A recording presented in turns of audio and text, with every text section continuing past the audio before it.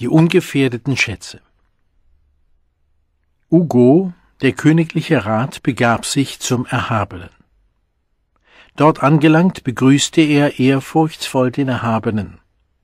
Darauf setzte er sich zur Seite nieder und sprach zum Erhabenen Wunderbar ist es, o Ehrwürdiger, erstaunlich ist es, wie reich, hochbegütert, hochvermögend doch dieser Migaro, der Verwandte des Rohano ist.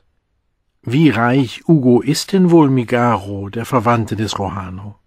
Wie groß sind seine Schätze, wie groß seine Güter? Zehn Millionen in Gold, o Ehrwürdiger, ganz vom Silber zu schweigen. Diesen Schatz besitzt er wohl, Ugo, und nicht behaupte ich, dass es nicht so sei.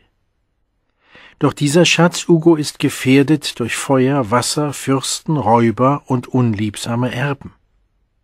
Folgende sieben Schätze aber, Ugo, sind nicht gefährdet durch Feuer, Wasser, Fürsten, Räuber und unliebsame Erben.